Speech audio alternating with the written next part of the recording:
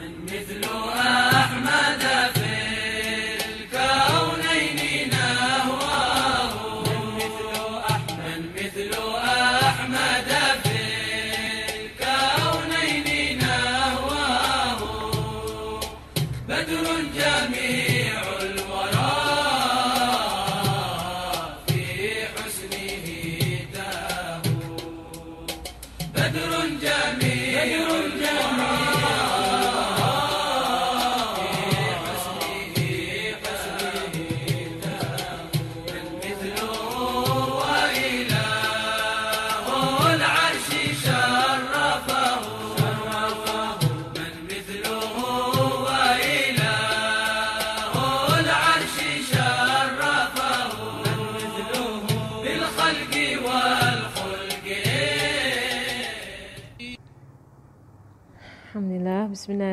الرحيم الحمد لله رب العالمين والصلاة والسلام على سيدنا محمد وعلى آله وصحبه وبارك وسلم. السلام عليكم ورحمة الله وبركاته. بسم الله الرحمن الرحيم. الحمد لله رب العالمين. اللهم صل وسلم على سيدنا محمد وعلى آله وصحبه في كل لحظة أبدا على نعم الله وأفضاله. اللهم آتنا من لدنك رحمة وعلمنا من لدنك علما. سبحانك لا علم لنا إلا ما علمتنا إنك أنت العليم الحكيم. بسم الله الرحمن الرحيم. نويت تعلم وتعليم وتذكر وتذكير والنفع والانتفاع والإفادة والاستفادة والحث على التمسك بكتاب الله وسنة رسوله صلى الله عليه وآله وصحبه وسلم. ودعاء إلى الهدى ودلالة على الخير ابتغاء وجه الله ومرضاته وقربه وثوابه سبحانه وتعالى مع لطف وعافية برحمتك يا أرحم الراحمين. اللهم صل وسلم على سيدنا محمد وعلى آله وصحبه وسلم. اللهم ألهمنا علما نفقه به أوامرك ونواهيك وارزقنا فهما نعرف به كيف نناجيك يا أرحم الراحمين. اللهم إنا نسألك فهم النبيين وحفظ المرسلين وإلهام الملائكة المقربين. في عافية يا أرحم الراحمين. اللهم أغننا بالعلم وزينا بالحلم وأكرمنا بالتقوى وجملنا بالعافية يا أرحم الراحمين. آمين. وصلى الله على سيدنا محمد وعلى آله وصحبه وسلم. اللهم إنا نستودعك ما قرأناه ونقرأه في هذا المجلس وما قبله وما بعده. فاحفظه علينا حتى ترده إلينا وقت احتياجنا إليه يا أرحم الراحمين. اللهم أكرمنا بنور الفهم وأخرجنا من ظلمات الوهم وافتح لنا أبواب رحمتك وانشر علينا حكمتك يا أرحم الراحمين. آمين. وصلى الله وصلى الله على سيدنا محمد وعلى آله وصحبه وسلم. اللهم يا مقاليد الأمور كلها بيده وإليه يرجع الأمور كلها. يا فتاح يا عالم يا فتاح يا عالم يا فتاح يا عالم. افتح علينا فتحا قريبا. وصلى الله على سيدنا محمد وعلى آله وصحبه وسلم. بسم الله الرحمن الرحيم. رب اشرح لي صدري ويسر لي أمري واحلل عقدة من لساني يفقه قولي وسد لساني واهد قلبي وافعل كذلك بأحبابي أبدا وارزقنا كمال المفتوح العارفين والفقه في الدين وعلى كمال الإخلاص والسر واليقين والعافية والغنى والنصر والحفظ والنفع والانتفاع وخيرات الدارين وعلوم الأولين والآخرين. آمين. صلى الله على سيدنا محمد وعلى آله وصحبه وسلم. الفاتحة.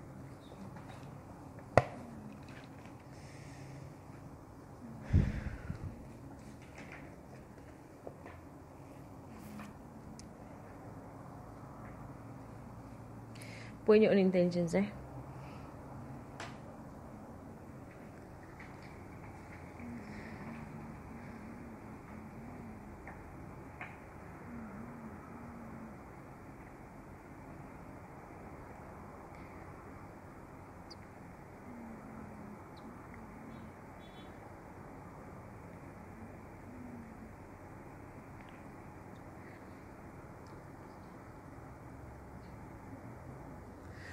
تمام الفاتحة Alright. Alhamdulillah. Alhamdulillah. Alhamdulillah, we have uh, arrived in the part of our seerah where we are about to enter a different marhala. Right? Different marhala meaning a different uh, position or different different station or different uh, time right in the seerah. Right. So we have there are, there's the first part that is before the hijrah of Rasulullah sallallahu wasallam, right, which is a very distinct uh, marhala, it's a very distinct uh, time right, in the life of Rasulullah sallallahu wasallam, 13 years in Mecca, right, whereby it was struggle, right, it was uh, it was difficulty, right, uh, it was no popularity, right, then, right, and that's why the sunnah of da'wah is it not being popular first, right, with the people, right, and then as as as the truth spreads, right, more and more people begin to accept it, right, so that we see that in the first half of uh, the life of Rasulullah SAW as a prophet wasallam. Of course, we spoke about the time of Rasulullah in his life before uh, uh, revelation, right? Time before he was 40 years old. We spoke about that time also and the, and the events that were around that, right? and that uh, serves for us to deepen our belief right that he is indeed a prophet right that we see the things that he go through that he, that he went through in life right and we see the miracles around his life and we see also the, the, the difficulty that Allah subhanahu wa ta'ala has allowed him to go through right. So he is of course we know that um, the closer somebody is to Allah subhanahu wa ta'ala right the more difficulty. Allah tests those whom he loves right. So there, there is always you know a test in your life and sometimes you don't even notice the test is there and we when we think of tests when we think of tests we think of you know calamity we think of difficulty we think of loss right? But sometimes tests can come in ease and in happiness and there can also be a test right? Especially when that test uh, causes you to neglect your prayers or to be uh, frivolous or to be you know far from Allah subhanahu wa ta'ala. Is even a greater test because that kind of test does not drive you down to your knees and beg Allah subhanahu wa ta'ala in the middle of the night a different type of test that I mean an easier test is, is a test of loss and a test of grief and test of difficulty and test of you know hopelessness whereby you don't know what else to do right then to wake up in the middle of the night and pray to Allah subhanahu wa ta'ala and ask of him so a bigger test is when everything's going fine. And it's a test. It's a test, right? Everything is going fine, everything is going well, there's nothing that you really need in life, you're kind of okay, right? Will you still wake up? Will you still call unto Allah subhanahu wa ta'ala? Will you still beg Allah subhanahu wa ta'ala, right, to keep you on the right path? Right? Because the the real the reality of life is that the calamity is what? Uh, diminishes your iman. That is a real calamity right and blessing is what increases your iman so it's you know it's, it's a skill it's a skill that we understand right and of course calamity is when you begin to do more and more this acts of disobedience and and, and blessing is when you do more and more acts of obedience and you read and, and you reduce in your acts of disobedience. So now we're about to leave right this uh, section of the seerah and we're about to enter a brand new section right whereby the entire um, atmosphere will change. And if you look at some of the writings of uh, disbelievers, right, they would write, and it's not true, right, but they would write, uh, in case any of you were to come across these writings, because I've I've even had these questions from uh, non uh, from Muslims themselves, right, because they read stuff online, right, and they don't have a teacher and they don't go for proper classes, right, so they they they tend to adopt what the non-Muslims say or what you know the enemies of uh, Rasulullah SAW, they, they claim about Rasulullah SAW. So they say, you know, in, in, compare, in comparing the life in Mecca, life in Medina, right, they say that, you know, in Mecca, right, Muhammad, wasallam, and Muhammad was a prophet, right, he was humble, and he was a, a preacher to his people.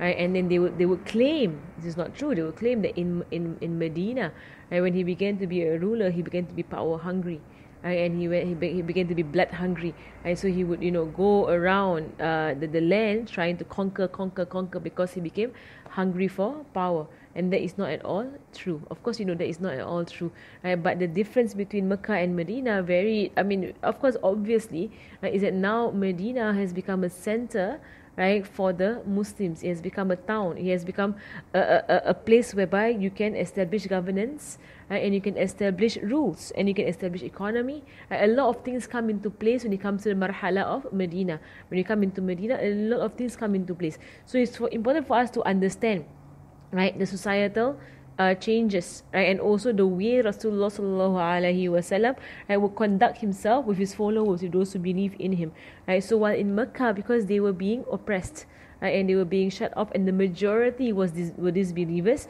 Right, of course, Islam cannot uh, show itself out, you know, in, in a large scale because you know you're, you're the minority. Uh, you have to be you know, uh, wise about this matter. And Allah subhanahu wa ta'ala did not even give the permission for them to fight when they were in Mecca. And we mentioned before the three, the three different you know, situations right, uh, uh, of societies uh, in Mecca whereby you are under the governance of a uh, non-Muslim government that, that is oppressive onto the believers. Right? That is one type of society where the Muslims are being oppressed under uh, uh, non-Muslims and they are basically harsh about it. Then in Habasha, in Abyssinia, you have the situation whereby the Muslims are in the governance of non-Muslims who are fair. Right? They are fair non-Muslims. They are not uh, oppressive, uh, and they allow the Muslims to live and to practice their religion, you know, as they can. And that is the Habasha, the Abyssinia scene. Uh, in Medina, you have the scene where the governance is the other Muslims. Uh, the Muslims are uh, make up the government, right? And then you have non-Muslims that live in within the, uh, the, the community of Muslims. So you have three different situations going on. So you cannot just you know like as we reflect on Sirah and reflect on our lives now in in in this modern day that you just take the Medinan uh, period and you try to apply what was applied there into Singapore uh, situation because we are obviously not a Muslim government, right? But we are under non-Muslim government that is more or less fair, right? It is a fair government that allows you to practice your religion, right? To an extent, there are parts in this uh, society that's not allowed to practice your religion. Then it is on us to avoid those parts, right? That's all, right? As easy as that, right? Avoid those parts. Try, try. I mean, try your best to avoid where you're not allowed to practice. Avoid it, right? And then go to where you're allowed to practice. And there are many doors, and Allah will open up the doors for you right? So basically, it's not an oppressive government, right? More or less, right? It is, you know, uh, uh, they have their they have their laws, right? So and we chose and we choose to live here. And we choose to live here. And when you live, choose to live in a place, you choose to subscribe yourself to the laws of the place. And that is uh, uh, basically what, uh, logically speaking, what it is about.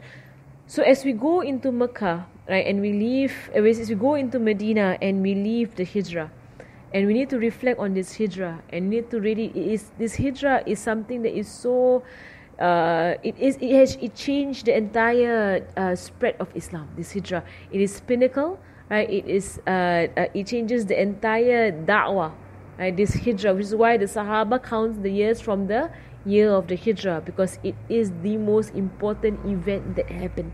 The disbelievers know it, the Muslims know it, right? It is obvious that this hijrah was, you know, the most important event.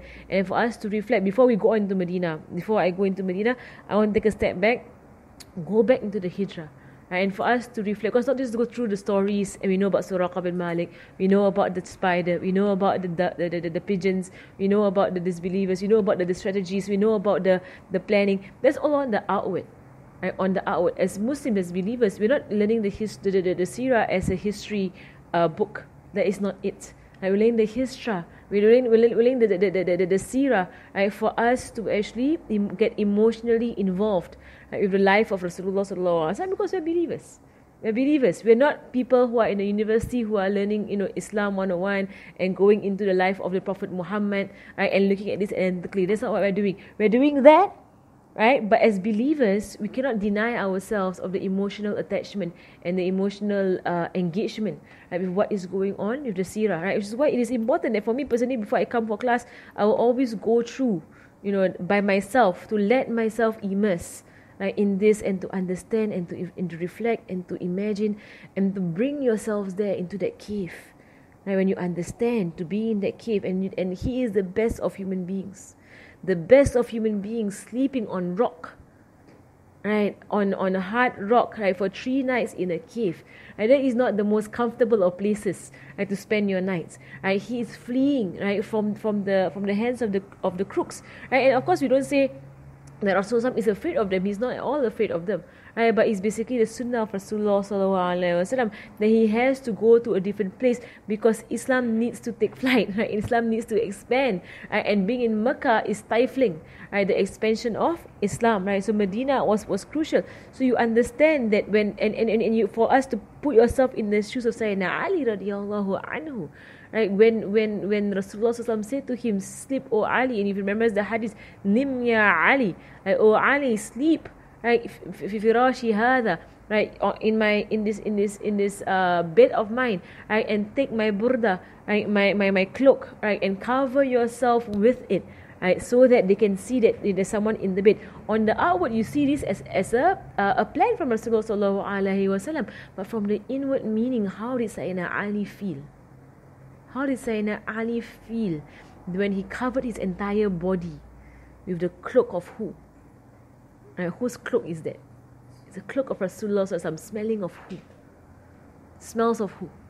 It smells of Rasulullah If you all have ever loved anyone very strongly, if you loved anyone really strongly, right, and you hold the blanket that has their scent, right, especially when they have passed, and when they have gone, and when you hold the blanket that has their scent, right, it will, it will stir up emotions in you, right, because it reminds you of the person that you actually love. So Sayyidina Ali, he's now in this blanket. And Rasulullah is going to migrate, right? And he's covering himself, right, in this in this cloak of Rasul. This is the, what the believer sees. We don't see strategy, just we see that, right? but we see something deeper. We see Sayyidina Ali. Well, how did he feel? That night. And when you cover his whole body with the cloak of Rasulullah, that is enough to say, you know, enough as, as an honor for him. Sayyidina Ali, your whole body is covered with the cloak of Rasulullah, khalas, for him paradise. right? There is no way that that person could ever enter the hellfire. Right? His whole body, his, his flesh, right? his skin with the cloak of Rasulullah, you know, uh, enveloped up, right? Placing his body there. In you know, exposing himself and, and it could be that these believers come in and without checking who it is, kill him. It could very well be. Basically, he's putting himself as bait. He's, he is the bait. He's there for them to focus on because thinking that Rasul is still there while Rasul has fled. Like giving him a head start, going the other way so nobody will see him going the other way. And subhanAllah, Sayyidina Ali. So you bring yourself to that position and you think, subhanAllah, how was it, Sayyidina Ali? How was it? How young was he? And how he was in his 20s, eh? Right? Not not not not an old man, eh? He's in his twenties and now he's a young man, unmarried. And he's gonna get married later on in, in Medina, Sayyidina Fatimah Zahra. Young man, bachelor, right? You know, sitting there with the amana of Rasulullah by the side to, to have to give back. Right? Then after, after it was found out that it was him, spend the night in the in the in the cloak of Rasulullah. Was he sleeping? I doubt so. I doubt he was sleeping, right? He was basically just, just you know, like just, just sniffing, right, the scent of Rasulullah all night. Right? Any one of you have ever smelt his scent? Subhanallah. Subhanallah. His, it's like none other. It's like none other. If you ask Allah subhanahu wa ta'ala, and Habib, you know, actually I want to actually record all his du'as during his sirah lessons, especially towards the end. Like, he'll make a lot of du'a, right, which which I can't I can't capture, you know, in my writing, you know, because of the way because he goes into a state right? And he will always dua, you know, ask Allah to, to, to let you smell His scent. Ask Allah subhanahu wa ta'ala, ask Allah, you know, to let you see His face. Sallallahu alayhi wa sallam. And it's not, it's not beyond Allah subhanahu wa ta'ala. It's not beyond. And Rasulullah sallallahu he loves his ummah for as long as they follow him.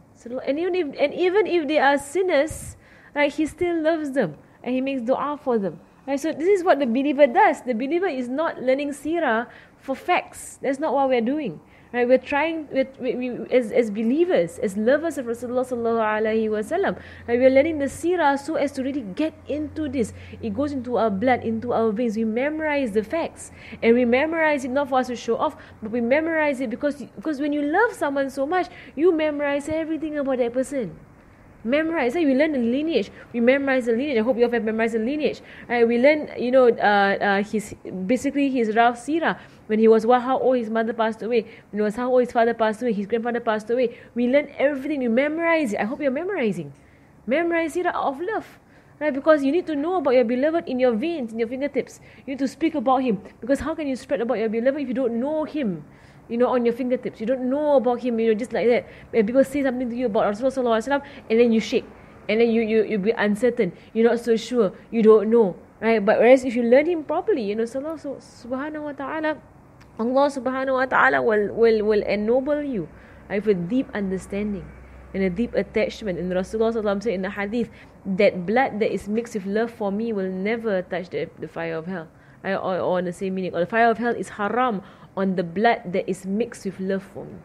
And that is our that is our ghaya, you know, that is our, our goal, our purpose, right? Uh, the, the whole point of sirah is not for us to just know all these facts. Right? Because it, how many disbelievers know all these facts? How many? There are many Orientalists out there who know all these facts. Plenty in all the universities in the world. When they have Islam 101, they'll speak about the Sirah, of course. How many disbelievers will, will read all these things and it just goes past them as a biography of a great man? And that's all it is to them.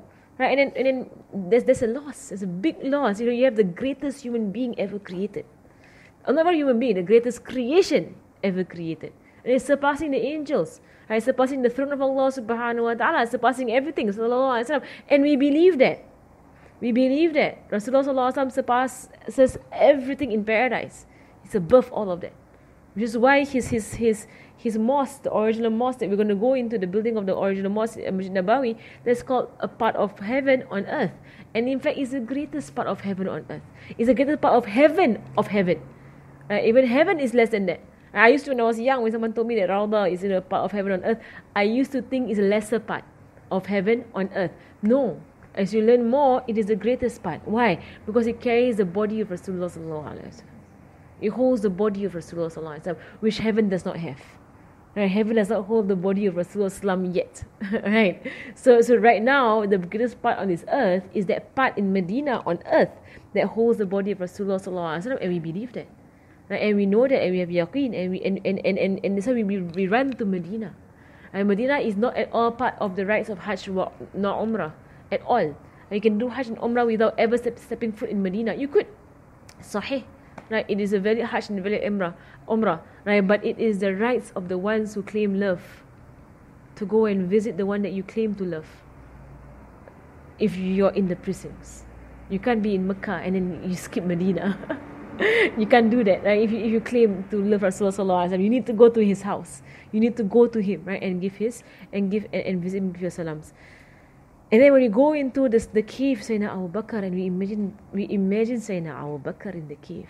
Of course, we see the facts, right? But how was it, Ya Abu Bakr? How was it? You know, a full week alone with Rasulullah sallallahu alaihi wasallam, sitting in the cave with him sleeping next to you right? Worried. And these believers come, right? And then they and you hear their voices and you're scared and you're you know smile and and your and your beloved all he says is that وَمَا ظَنُّكَ يَا أَبَا بَكْرَ Right? What do you think of Abu Bakr? بِإِثْنَيْن Allah ثالثهما Right? By two, Allah is the third. And the ulama say, reflect on this, on this statement. Right? It is a great statement if you understood if you understood when someone says, right, what do you think of two when Allah is the third? It's, you know, you just, sit there and you just reflect. And that's what we're supposed to do as, as, as, as human beings. Allah gives us an akal. And this akal is for us to sit down, look at things, read things, reflect on things. Not just go on and memorize, memorize, memorize, and not, not process. Right? Processing is something that is so, unfortunately, removed from our addiction system. Unfortunately, because there's so much for us to memorize and regurgitate right, that we don't process anymore. Right? And processing is the is, is a crux of education. Right? That you actually sit and you, you absorb information and you process. And when you process, it changes you. When you don't process, then you are not. Why you have people learning sirah, learning hadith, learning tafsir, and the other words of human beings. Right? Because the information comes in and it, it is thrown out. And they, could, they could be teachers, they could be asatiza, they could be mashayikh, they could be whatever. Right? But the information does not come into their hearts right, and makes it shake right, and make them understand, you know, am I a hypocrite? Am I as how I teach? Am I as how I say? That's called no processing. It's called, you know, on the tongue, give out to the to the ears that are around you. It's not go down to the heart and go into the hearts that are those who are around you. Right? Subhanallah, you know, this this is just to to, to, to, to imagine Sayyidina Abu Bakr in that cave. And when you hear your beloved say, What do you think of two? And it's him and Rasulullah Allah is your third. If anyone say that to me, Subhanallah is my Allah is your third. That means you're on the side of Allah subhanahu wa ta'ala. Who can ever speak against Sayyidina Abu Bakr after that? Who can talk bad about him after that? Right, saying that he is in the, in the, in the group of three, which is Allah, Rasulullah and Sayyidina Abu Bakr. Right, they are together. Right, and in La tahzan, inna Allah ma'ana. Right, don't and there is the, the famous the famous quote from Rasulullah do not be sad. La takhaf innallaha ma'ana. Don't be afraid, don't be sad. Oh Abu Bakr, don't be grieved. Allah is with us. Don't don't, don't shake, Abu Bakr, don't shake. Right, don't don't be uncertain about this this matter. Right, the whole hijrah is covered. And Allah should over and over again. You know, I I I I'm I'm over you all. I can bring them right up to the door of your cave and they won't look down. they won't. They are right there and they won't look down. Right? They they, and in fact, they will think where did the footsteps go? Either into the cave or up the sky, right? or down into the earth. In some right, you know, either the earth swallowed them up, or they went up to the sky, or into that cave. There was three possibilities, and they didn't even bother going for the most logical one. there was only one logical one out of the three: up into the sky, the earth swallowed them, or they went to the cave. and you would think, look into the cave. right? I mean, I don't think they flew up to the sky, nor did they get swallowed by the earth, and a sudden earthquake or something, right? But the most logical one, they went into the cave. Look, didn't even occur to them. Didn't even occur to them. Khalas, who stopped that? Like, who removed it from their minds? Right? And for us, you know, so when you reflect, you begin to to, awe, to, to be at awe of Allah subhanahu wa ta'ala, realization of Allah subhanahu wa ta'ala. This is what this is why we learn from our mashayikh. Right? It is all it's not from me, it's from Habib. all from Habib. right? It's all from our mashayikh. They, they, they pull you on the path. It's called irshad. Right? It's called guidance. It's not called information. Not not just you know uh, flat out knowledge or dry knowledge. No, it's guidance. That's what sirah is about. And when you go with Sayyidina Abu Bakr, and, and there was once uh, Sayyidina Umar during his Khalifa, right? And and he came into the mosque, and the people they were like they were they were praising Sayyidina Umar and his virtues and his merits and what he has accomplished and whatsoever. And Sayyidina Umar turned to them, and Sayyidina Umar said, "One night of Abu Bakr." Right, this one night of his life is better than Omar and the family of Omar and the entire lifespan of Omar. Right, and he said that one day of Abu Bakr's life is better than the, than Omar and the family of Omar and the whole lifespan of Omar. Right, and what is that one night? That one night is in the cave. Right, that one night, nothing nothing that I have accomplished in my life can can can ever come close right to the level of that one night that Sayyidina Abu Bakr was with Rasulullah So you need to taste this. Right? Reflect with yourself and taste this. And how was that one night, Sayyidina Abu Bakr with Rasulullah Wasallam and they were in the cave. Right? It was a sharaf, it was nobility. Right? It was, you know, how was it, what did they talk about? This is why they say that Sayyidina Abu Bakr has secret knowledges. He learned many things from Rasulullah Wasallam that he kept to himself. Right? Because they had secret time together, right? Private time together. That cave, I mean, three days. What they talk about? What did he witness in that cave? Right? When Rasul recites the Quran and when he stands in prayer, and he, you know, you, you you don't know, right? There's a secrecy that happened there.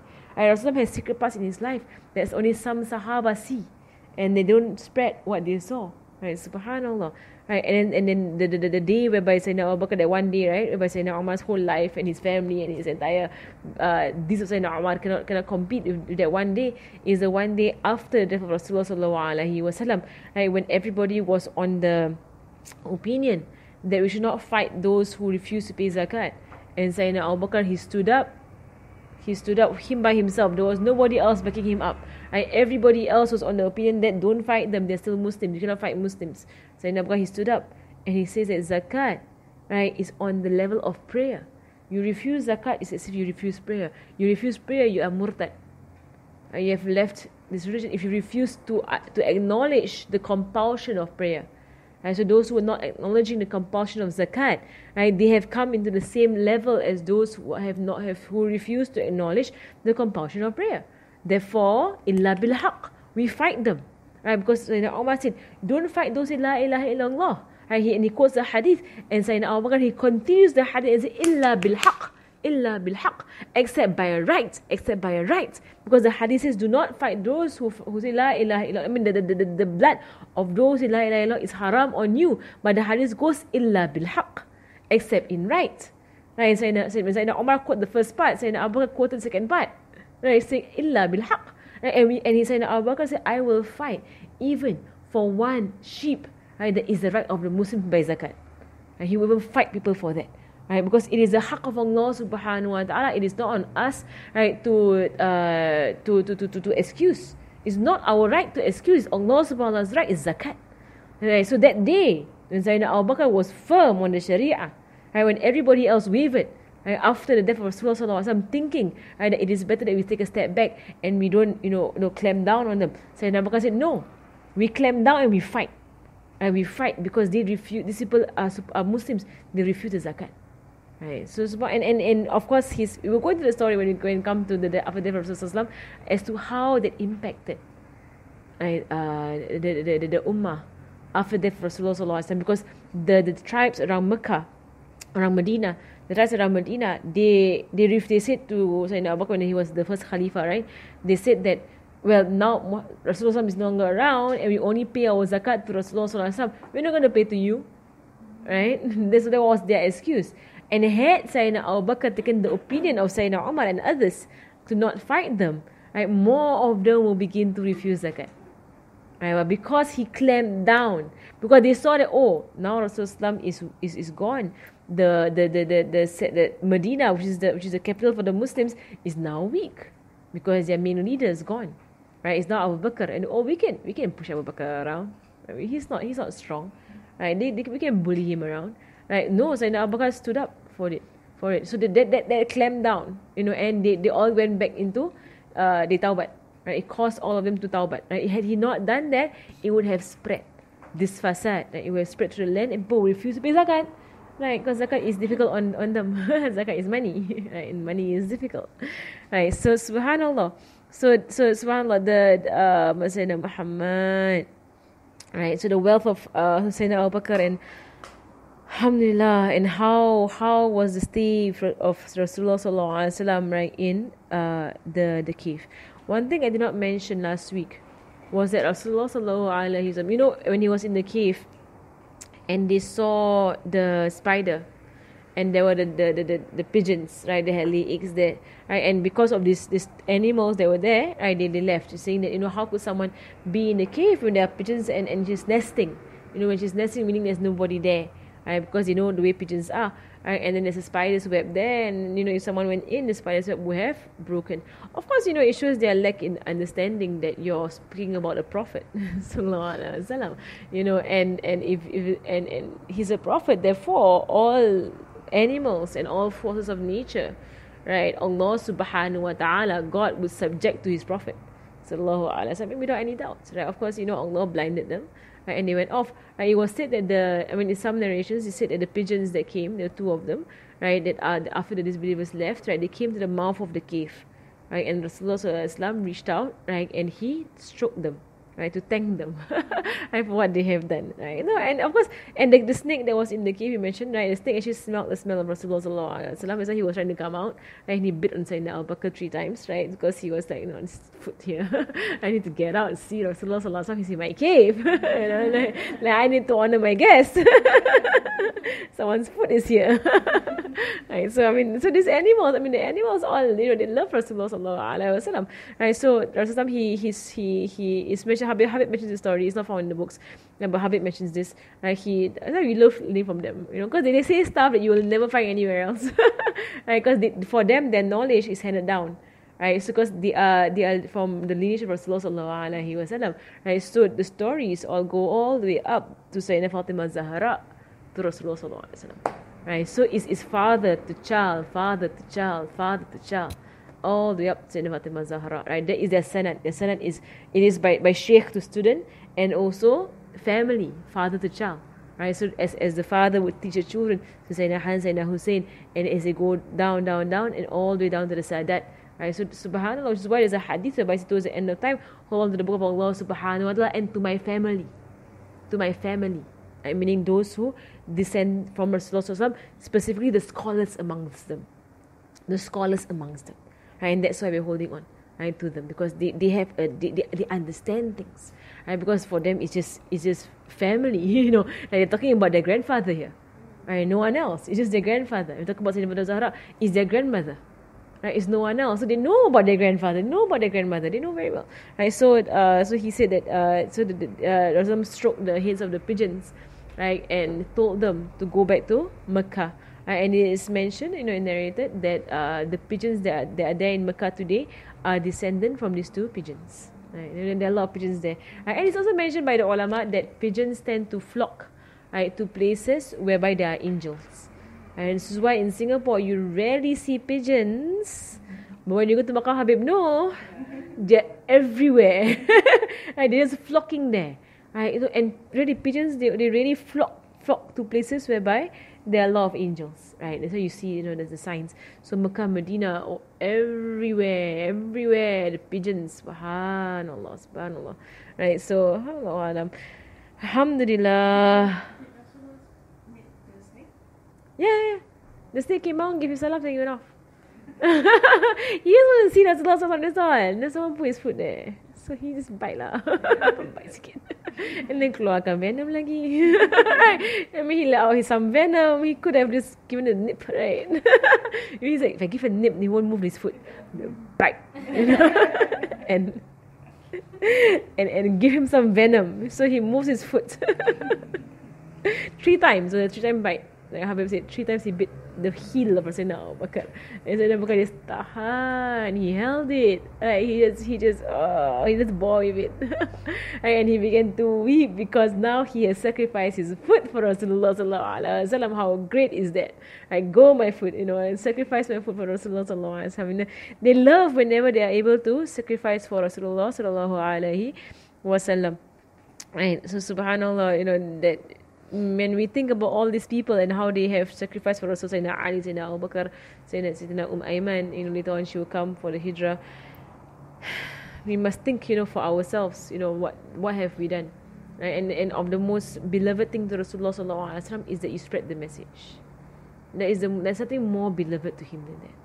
Right? That you spread the message right, of the worship of the one true God.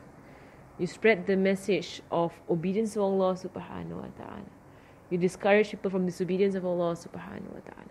And you spread the love of Rasulullah sallallahu alayhi wasallam. In however, in however way you could do this, right? Just do it, right? It is the most it is the most beloved thing to Rasulullah sallallahu alaihi Nothing brings more joy to his heart than to hear someone come closer to Allah subhanahu wa ta'ala or hear someone come into the fold of Islam. Right? So either it be a Muslim or non-Muslim, right? But a Muslim who comes closer, even a step closer. So one tawbah, one istighfar, one more prayer, one more, no, at least one step. Right? Nothing brings more happiness to the heart of Rasulullah sallallahu alaihi wasallam. All right.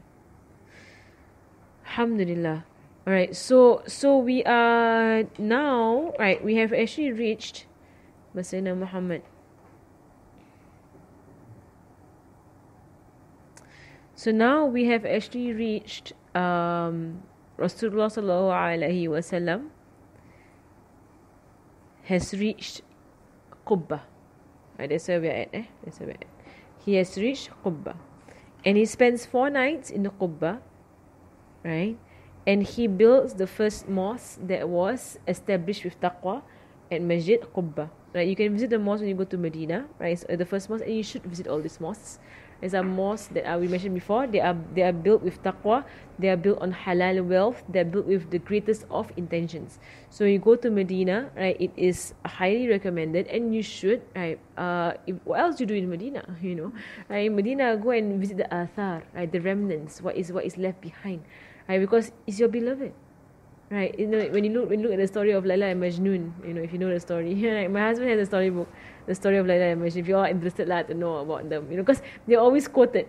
They, are like the Romeo and Juliet of you know of Islam but of course their story is very different right? Laila and Majnun Laila is a is a woman and Majnun is uh he's got Majnun because he's crazily in love for Laila right? But the ulama always quote them right? Because the way Majnun expresses his love for Laila right? That is how the ulama or those who, who you know those those those who the people of, of tasting they would express their love for Rasulullah and for Allah subhanahu wa ta'ala. So Majnun you know once he uh, he saw he was seen uh, being good to a dog. There was a dog right? That he was seen you know giving food you know looking after the dog giving water and everything. And they say oh Majnun why are you you know why are you so uh, uh, caring towards this dog? Right? And he said that I once saw this dog in the vicinity of Laila? And by by just that, the dog reminded me of Laila. So I, I, I you know, I honor the dog. right? So this is, this is basically a, it's all parables. It's all parables. So whatever you see of Rasulullah sallallahu wasallam, right? And and and there was once you know Majnun was quoted to, to was was seen, you know, going around in a room, right? And he kissed this wall and he kissed that wall and he kissed the walls, right? And then he was said, it's not the walls, it's not the walls that I'm kissing, right? But it was the person who was who was housed in these walls, right? That I am yearning for. So you know this is this is what it is when you go to Medina. That's what it is. And you go to this place and you go to this to this to this mosque and you go to Uhud and you go to the Masjid Nabawi, you go to the Rawda, right? You go to all these places right in Medina. Right? And you kiss here and you think here and you sit down and you reflect. Right? And you and you and you and you think about Rasulullah sallallahu alaihi wasallam. It's like that. It's how Majnun was. Right? It's not about these places. It's not the places. Right? The places are there. Right? Because they, they connect you to your beloved. It's about the beloved Rasulullah. It's about Rasulullah sallallahu alaihi wasallam. That's all it is. Right? That's why we go to these places and that's why we we, we, we, we sit there right? and we visit them. Right? Because we want we go to Masjid Qubbah. Right? How was it, Ya Rasulullah? Right? When you entered in the Qubbah and the people of Medina, they actually ran out. There were those from Medina who went out to Qubbah. Right? If you have seen the, the map, right? So Qubbah is down here. Right? Medina is here. See that? Right? So there is just a bit of a distance right? And but he settled there first in a Qubbah. Right? And the people of Medina, of course, when they heard that Rasulullah is already there, right, they came out. Right? They came out and they went to see him. And one by one, they began to say the salam to Rasulullah. Right? So for us, you know, we, we, we, we go for these traces. It's called the athar. What is what has remained of our beloved, right? For us in trying to get something of the beloved, right? So when you know like of water that has the the the the you know uh, the bekas of Rasulullah sallallahu the remnants of Rasulullah sallallahu and we go for this kind of water and we drink this water. There, ah, you you want you want some? Yeah, where? Bring next time. In my house, eh? Habib Kadim brought that time. Mm, Habib Kadim brought that time. Yeah, so he gave some of one of my uh, our sisters and she shared with us right so and and and think about it is that blessings right they they they increase when you share. Right so don't think that you know when I have like some water right that is that is from Rasulullah some that when I keep pouring water over it I'm diluting it. No you're actually increasing the blessing. You're actually strengthening the blessing right that's in the water. Right? I don't think that you know oh is this is the amount that was original when I pour and then it gets diluted you know. It's not the way right it's like like if you if you if you study homeopathy right study homeopathy if you know what it is science of homeopathy right? That for them in that science right the more diluted the stronger the effect right? So and i believe that about barakah also. And in water water the more diluted right the more the purer the energy right that is kept in the molecules of the water. Allah alam you know allah allah knows. Right so which is why that when you have uh, water that is uh, blessed right it is on you to actually keep keep it right not let it run out right and keep pouring water on it, right, and then sharing with people who are around, right? Because water, there, there is water is able, alhamdulillah, water is able to capture blessings, right, in water, right? So subhanallah, so we are made of water, right? So when you use this water, everything that there's there is an effect on you, right? Subhanallah. So okay, I bring, okay. but when do you find it?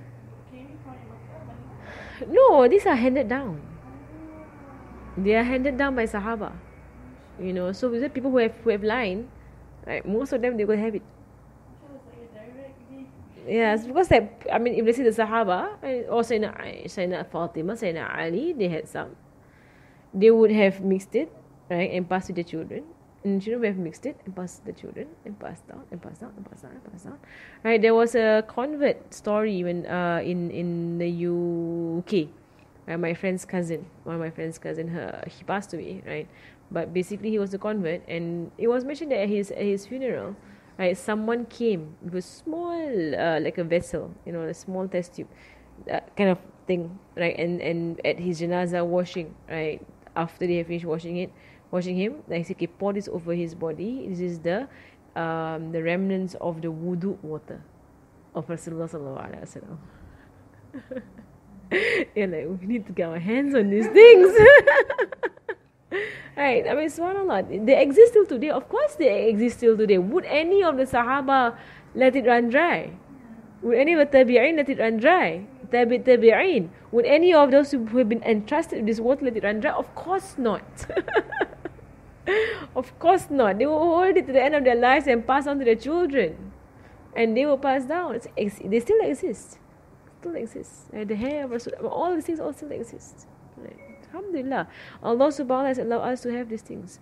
So so when he reached Alright. So So when Rasulullah sallallahu alaihi wasallam reached Qubba, right, and he spent four nights, right, in uh, Qubba, you know, some stretch on to, to 14 nights in Qubba, Allahu Alam, right? It's between, you know, there, there's, there's entire uh, debate or khilaf, right, about how long Rasulullah was in Qubba. Right? Basically, he stayed there, right, with some of the people in Qubba, right, and then he entered into Al-Madinah, right? And when he entered into Al Madinah, right, uh, Medina is called Yathrib, right, and with the coming of Rasulullah it's called Medina to Nabi, which means the city of the Prophet, Medina to Nabi. Right? But of course, short form Al Madinah, right, the city. Right? It just means the city, right. So okay, the name was changed, and thereafter it was not to be called Yathrib ever again. Right. So when they entered into Medina, right, of course, when they were they, before they came in, right, they uh, Zubair, Sayyidina Zubair, right, which is the uh, Sayyidina Zubair bin Awam, which is the nephew of Sayyidina Khadija. Uh, yes, the nephew of Sayyidina Khadija. He actually met Rasulullah in Qubba. Right, and he was a trader, right, and he had some uh, clothing with him. So he gave Sayyidina Abu Bakr and Rasulullah white thobes.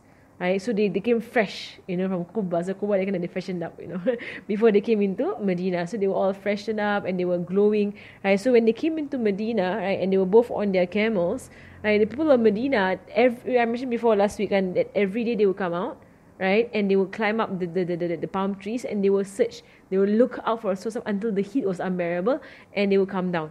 Right, so so actually, there was so the day Barsam came into Medina, the Jews as actually saw, and the, Jew, the, Jews saw from far Rasulullah coming, right? And and the Jews they, they, they scream up to the Arabs and said that, oh Arabs, right? Your you know your your man is here, your guy is here. You know he has come uh, towards Medina. So they all began running out right, of their houses right, to, to, to meet Rasulullah sallallahu alaihi wasallam. And at points, Sayyidina Abu Bakr realized that the people of Medina, having not seen Rasulullah before, right, that they would they would not know which of the two men was Rasulullah sallallahu alaihi wasallam. And because Sayyidina Abu Bakr is supposed to be younger than Rasulullah, but he had white hair, while Rasulullah at that point had no white hair. Right, his white hair came came later in his life. Right, but Rasulullah is about two years and plus, almost three years, two two years and a few months older than Sayyidina Abu Bakr. But Sayyidina Abu Bakr was really greying. Right, Rasulullah was not greying yet, so he looked younger. So Sayyidina Abu Bakr was, was, was, was, you know, worried that people might, might go and try start, start to, you know, welcome him. he's not the prophet. right, so so he took off his rida, right, his, his shawl, and he began to shade Rasulullah sallallahu alaihi so people know that he's the prophet. I'm just the, the servant. I'm just the one next to him. Right, so people, they knew, from there they saw that, that uh, Sayyidina Abu Bakr was the um, the, the companion and Rasulullah was the prophet. Right, so of course when he came in, right, uh, uh, Rasulullah he became of, of the first few words that has been narrated of what uh, Rasulullah said. This was narrated from Sayyidina Abdullah bin uh, Salam, right? Of the he is of the we mentioned his story before also, right? He is of the uh, the the the learned men of the Jews, uh, the rabbis, the rabbis of the Jews, where he came into Islam immediately. Did I mention his story? Abdullah bin Salam. No, where did I mention his story? The one that I didn't. I did kan? Where? okay, maybe not here. Alright, so maybe I mentioned somewhere else. Got, got his story is an amazing story about, oh yeah, in Tafsir, in Tafsir. I mentioned in Tafsir because his story is an amazing story about the Jews. Right, and uh, I'll, I'll mention his story. Uh, basically, when he, uh, when Sayyidina Muhammad, when Rasulullah came into Medina, right, and people all they were they were gathered around him, and you can imagine right now, right now you want just bring yourself to that scene. Sayyidina Anas said, right, there was not a greater day. Right, there was not a day that there was there was more joy and more light, more illumination than the day when the Prophet Muhammad sallallahu alaihi wasallam came into Medina, and the whole Medina was lit right, in bright light. Right, he came in a day. He came in the day, it was bright in the, in the, in the, in the afternoon, in the day, he came into Medina. So this, the whole Medina was lit, right? and everybody was coming out, everybody was rejoicing. Right? It was, you see, this, this whole, you know, subhanAllah, he just left his town where people chased him out. he just left. He was, he's a, he's a wanted man, a hundred camels on his neck sallallahu alaihi wasallam when he comes into a city whereby the whole city has come out right to welcome him sallallahu alaihi wasallam. And this one thing I wanted, wanted to mention that I forgot that before he left Medina Rasulullah uh, before he left Mecca Rasulullah sallallahu alaihi wasallam when he was about to leave Mecca he turned back to Mecca. Right he turned back to look to look at Mecca. You see because these people they are attached to the country. They're attached to the place of birth and when you meet, you know, uh, uh, these people, when today, when you meet people who are native to the land, they have a love for their land unlike any other. We are not natives. we're all children of immigrants, most of us. Right? We are descendants of immigrants. Right? So when I, I remember when I was in, uh, I can't remember in Syria or in Yemen, whereby you know I was, I was saying some to one of my friends that I'm going back to my and she was Arab, you know, and of the land, of the land. I said I was going back to my country. And she be like, nothing like your own country, right? and she said to me, there's nothing like your own country. Uh, you only feel, you know, comfortable and, and, and at peace in your own country. But in my heart, I was like, no, I like it here in Yemen. right, but that is basically because we're not native. We're not natives. You know, we're not people of this land, or we're not the, the aborigines of the land. Right? We're basically immigrants. We're children of immigrants. So we don't understand the attachment that a person has right, to the land of his forefathers. You know, the land that he was born in, he was. We don't understand that because we don't we don't experience that, and we can't because we've already you know we're divorced from our own original land, India. For me, India, right, I've never been there in my life. you know, right? So yeah, so so we're not attached to that land, and this is basically to us it's a, it's a migrant land. Right? Our forefathers came here, and we could easily leave. Most of us go to Malaysia, go to Indonesia, no no problem for us because you're not attached. We're not attached. Right? These people who are from the land, from the land. Right? Like when, when I spoke to my friends, you know, in Tarim, all that, when, when and there's, there's a poem by one of the Habaib who came to Southeast Asia to do da'wah. Right? But he always yearn for Tarim, yearn for Tarim, to go back to his origin land. And if you read the writings of Chinese who came here as immigrants, right, they will always also write about going back to China and dying there. Right? There's this thing about, about human beings and the homeland right, that is lost with the migrant population. right? It's lost. We don't have it anymore. So I mentioned that because Rasulullah before he left Mecca and he's about to go to Medina, you know, and people in Medina are, you know, with open arms welcoming him. But he turned around to Mecca, and he said to Mecca, he spoke to Mecca. He said to Mecca, you know, I swear by Allah, you are the most beloved land to me. You're the most beloved. You spoke to Mecca, you know, Annaki ahabba bilad ilayya. You are the most beloved land to me. And had it not, he says, had it not been for your people driving me out, I would have never left you. And he spoke to Mecca. And then he turned and he, and he faced in the direction of Medina. And he, oh Allah, give Medina twice the blessing, give Yathrib twice the blessings that you gave Mecca. And why if you ever go for Umrah and you go to Mecca, Medina, it's so different. Mecca, there's a huge difference like in your heart when you go to Mecca and when you go to Medina. It's a huge difference that everybody will experience. It's not just one person, two person. You enter Medina, there's something else going on. right? There's something else going on in Medina that was not in Mecca. Right? From the dua of Rasulullah sallallahu alaihi wasallam, Rasul made lots of dua for Medina, and Medina was only from from a small agricultural town. And they were nothing. They were not mentioned by most people. No one cared about Medina. They were basically an oasis. They had their agriculture, mazra'ah, and they had their gardens whatsoever. They had their, their, their farms. There was something interesting. The Jews were there. the Jews had set up their fortresses there. And they were basically uh, controlling the financial situation of Medina, right, as they do everywhere they go, right? They they control the financial situation, right? And they were basically, you know, riba and loaning and whatever they were doing, right? And they were there. That was interesting. About, that was the only interesting thing about Medina. The, the Jews were there. In uh in Allah I'm sure they are. Right, they're they're around. They're around. Like in Singapore, there are some. It's a population of Jews. Yeah, there.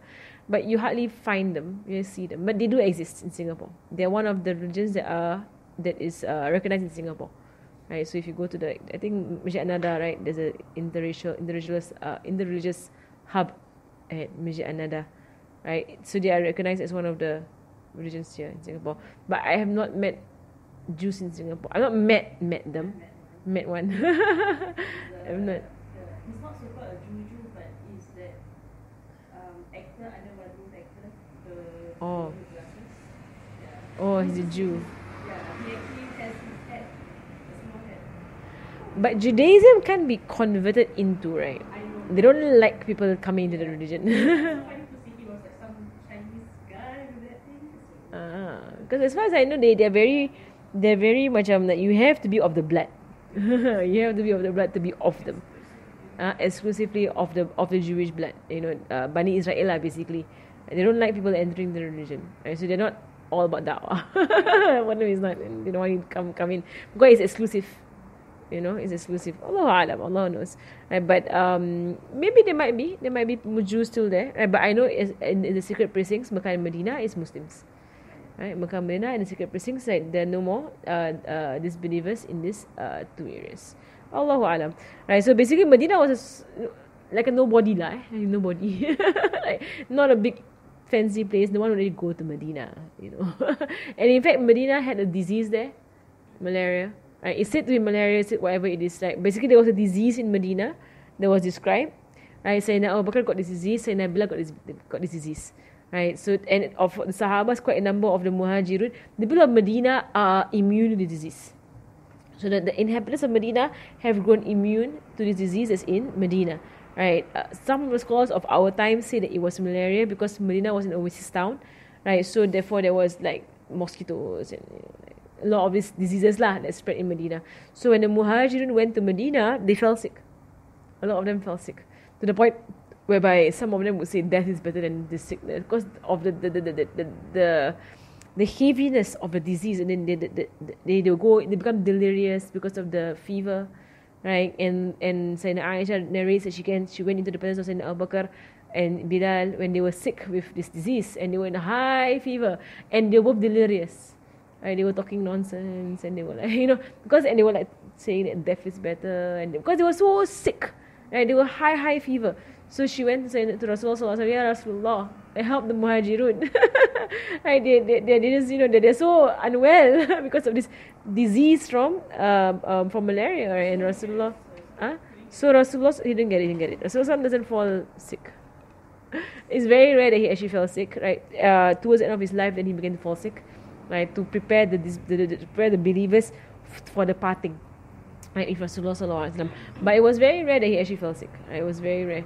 Um, Allah alam, right? So basically, Sayyidina Aisha, she came into the, the, the presence of Sayyidina Abu Bakr and, and uh, Bilal radiallahu anhu, right? And he asked Rasul, she, and she went to Rasulullah and she said, Ya Rasulullah, right? Is going on here, in Medina. Uh, and then Rasulullah made a dua, right? And here, uh, the dua is here, right? So he said, Oh Allah, right? Uh, uh, is a curse, Shaybah bin Rabi'ah, wa Utbah bin Rabi'ah, wa Umayyah bin Khalaf, right so curse them right because um, they have they have they have driven us out of our land to a land that has a disease so first he began by that way you know because it's and this and, the- and Rasulullah usually does not curse people unless it has been revealed to him these people are doomed to die as disbelievers right? So he only would ever say it if he knows for sure that they will die as disbelievers right? So he won't like randomly curse uh, people. Unless he knows you know from Allah's knowledge that these people will die as disbelievers and then he says Allahumma habib ilayna al-Madina uh, kahubbina Makkah or ashad right? Was wasahihha right? So oh Allah make us love Medina as how we loved Mecca right? or even more intense love right? us love it even even more than how we love Mecca. Because now the Muhajirun they are feeling this this strain you know. You see you have left your town your beloved town Mecca your homeland and most of the Muhajirun they love Mecca. There's a Kaaba there. Basically they, they, like how some was they were attached to Mecca. They don't want to leave Mecca. They don't want to But there's no, you know, the, the command has come, and now it's wajib for believers to leave Mecca. It's become wajib. So, it, so the leaving of Mecca is not because they were being persecuted, because there were those who had strong tribes, you know, uh, backing them up. They didn't have to leave Mecca, and the leaving of Mecca was because the Muslims had to congregate in Medina, right, for the building of Islam. This is why it was compulsory for every believer to come to Medina, right, as far as they could. So it's not a matter of you know fleeing, like Habasha. Right? Habasha, Abyssinia, it was a matter of fleeing. If you can't take the persecution in Mecca, and the torture in Mecca, then flee. Flee to Habasha. But Medina was not a fleeing. And Medina was basically we need this religion is now is the, the time has come for this religion to expand. Right? And we need to have a base from which we expand. And that base will be Medina. So all Muslims congregate there. Right? Because they're going to expand from there. So there's going to be education there. There's going to be uh, laws coming down, Sharia laws. There's going to be economy going on. There's going to be a lot of things that will structure society in Medina. So it was compulsory. It was wajib. The hijrah was wajib. It was compulsory on those in Mecca to make the hijrah to Medina. So when they went to Medina, now they found that Medina is a is a is a, is a land of disease, right? And and this is not any disease; it's terrible disease. If it was if it was malaria, right, as some of the scholars of today say, you know, then this is terrible disease. That if you're not prepared for malaria, malaria can be can can be you know uh, very harmful. And of course, we know in Singapore, I mean, uh, uh, death and malaria can be fatal if it's not if it's not uh, cured or if it's not uh, handled well. Right? And we know in the Rasulullah what what did they have? Right? They were just exposed to the disease and they go through the disease and they die. Right? And then also some of the some of the ulama say that that was what happened to the, the parents of Rasulullah also. Allah alam, Allah knows. Because both of them fell sick in Medina. I say Abu Bakr, I say Sayyidina Abdullah, the father of Rasulullah went to Medina to visit his paternal uh, uncle, straight from his uh, grandmother's side, right? And he fell sick and died. His grave is in Medina. Then the mother of Rasulullah went to Medina to visit her, her the grave of her of her of her husband, right? And to bring Rasulullah to his uh, paternal uncles. On their way out, she felt she was sick. Right? She got disease, right? And then she died on the way out. Right? So Allah Alam, you know what it was that was in Medina that was causing this uh, this difficulty. Right? So Rasulullah he says that was sahiha and rectify Medina. Right, fix Medina. something something going on in Medina. Right, wa sa'iha wa mad wa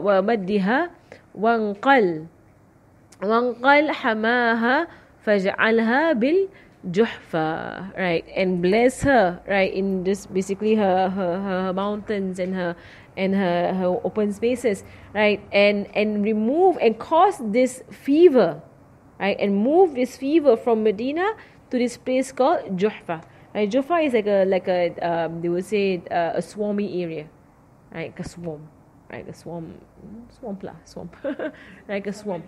It's somewhere off of Medina. Right, so it's a different town altogether, but it's not a town. It's not a town. It's a swampy area. So, so so and it was seen in a dream. Right, there was a black woman, right? Uh, uh, in so, so saw in a dream the black woman right got up from Medina and she walked out of Medina and she went to that place called Juhfa. Right, so she went there. Right? And and there is the, the the the understanding that Allah took this disease and Allah brought it over to Juhfa. Right? So and of course also of the what has been mentioned from the efforts of Rasulullah was that he drained out the swamps around Medina. He drained it out. Right? So of the efforts, right? Because prevent mosquito mosquito um, uh, breeding lah. Right, there's something going on in Medina, so there was the swarms were drained out. Right, uh, they set up their own marketplaces. Right, so Rasul was now going to establish a community in Medina. Okay, when he reached Medina, Rasulullah sallallahu alaihi wasallam, when he reached, oh wait, what time are you supposed to end? Nine okay. Not nine eh. Okay, I keep forgetting when we're supposed to end. Alright, so when Rasulullah reached Medina, and here you have to understand in Medina, you have a community primarily of farmers, right? They are not rich, right? They're poor. they're farmers, they're not traders. Meccans are richer because they are traders, right? They're businessmen, right? So the Meccans left all their stuff behind, right? And they migrated to Medina, and there's a lot of them, right? A lot of them. So you're not saying, you know, uh, you're not saying just like 10, 20, maybe about 100. You know, like, like know, or less than that, maybe about 70.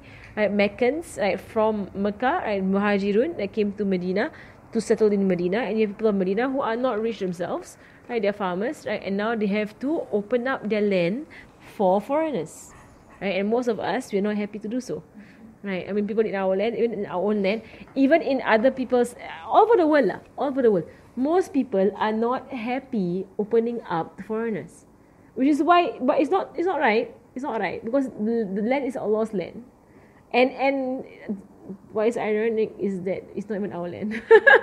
and we're all migrants, right? So you know, I mean, the real people who are upset were the original, you know, Malays who were here from the beginning. They should be the upset ones that you guys came in and populated, right? And now you're the majority, right? Which happened, you know, all over the world in America, in Australia, in you know, like whereby this this other race came in and populated. But it shouldn't be a problem because the land is Allah's land, and, and Allah gives His land to whomsoever He wants. Right? It's up to Allah subhanahu wa ta'ala. So people of Medina, right now what has happened?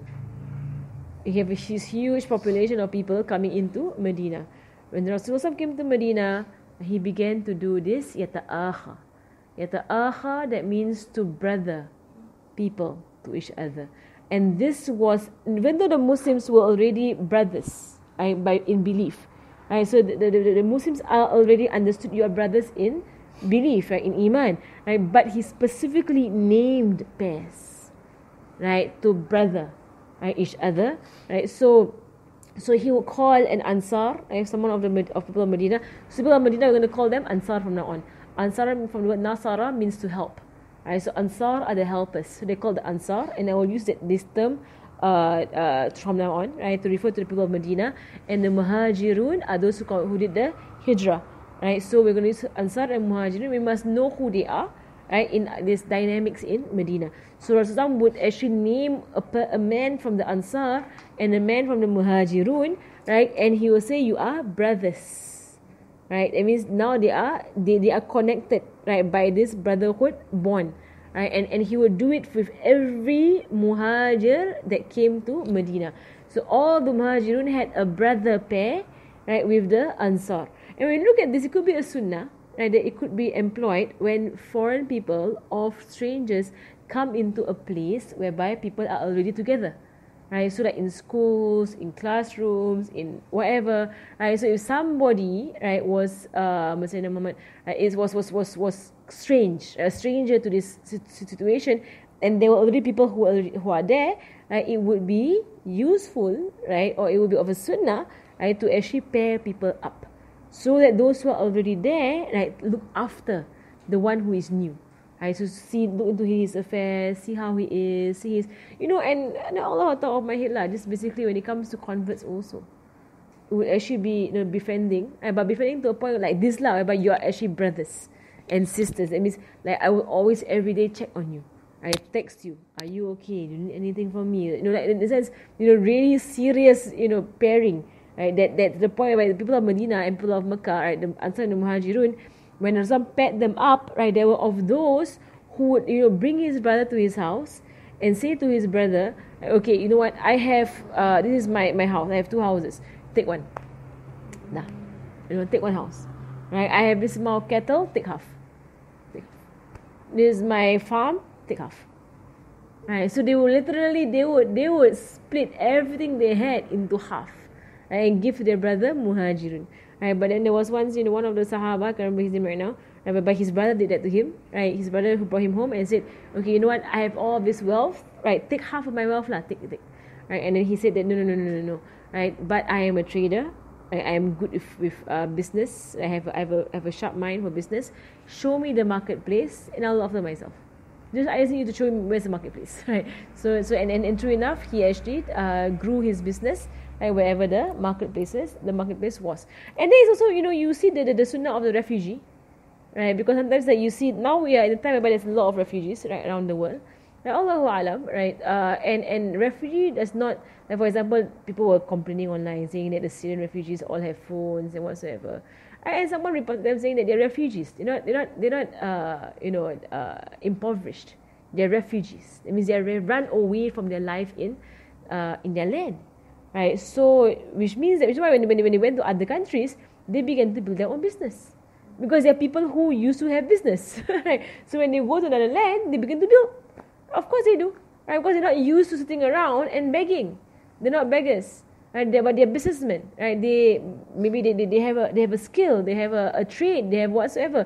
So they will they will do it again somewhere else, right? That is the way Allah Subhanahu wa Taala has made this creation, right? So the people of Mecca were like that, right? You have a question, right? No, yeah. What, what, it easy, what made it easy for the Ansar to just give the Muhammad? Iman. it's a good question. Like, well, how come it was so easy for them to give? Iman. It was Iman. They, the Ansar, and this is the amazing thing about the Ansar. First and foremost, they opened up the doors. You know, they have they had nothing to do with the situation of Rasulullah and the Meccans. And there were people around Mecca who had become Muslim. But none of them actually like, you know, come to our place. you know, like none of them did that. The people of Medina were the ones who invited the Muslims over. Come. Right? You like you know, it's it's hard here. Come to our place. They opened up their doors, people of Medina. Of course, we know that they from from before we mentioned they were prepared by the Jews. right? The Jews actually informed them about the, the signs of the last prophet. So when they saw him, they had no doubt it was him. No doubt. So they were pre being being groomed by the Jews to accept Rasulullah. Then from there the iman came into their hearts. Right? And you must understand the Ansar, they have an iman. Right? And they were of the the sabiqun and sabiqun, and they are of the the, for, the foremost, you know, who, who run towards towards goodness. So the so when we go into this part of this of Sirah, we must understand the Ansar very well. Right? They were people who chose this. They chose this. Right? They chose to take the Muslims and to host them. Right? They opened up their doors. So they understood by opening up their doors, what have they done? They have shared their land. Right? Basically, they understood that. Right? They understood what that mean, meant. And now they understood that their leader will be the Prophet Muhammad sallallahu alaihi wasallam, which rubbed some people the wrong way. Right? Is why you have hypocrites appearing. Right? Because we mentioned that Medina before the Bay'ah of Aqaba, there, there was a huge war, right, in which the elders of Medina were killed off. Right, so that was also crucial because the elders were usually the ones in Mecca, and they were the ones who stopped the da'wah. But they're so stuck on their ways, right? So they were killed off. The people of Medina actually had come to a consensus that Abdullah bin Ubay would be their leader. And they have never come to a consensus about anyone.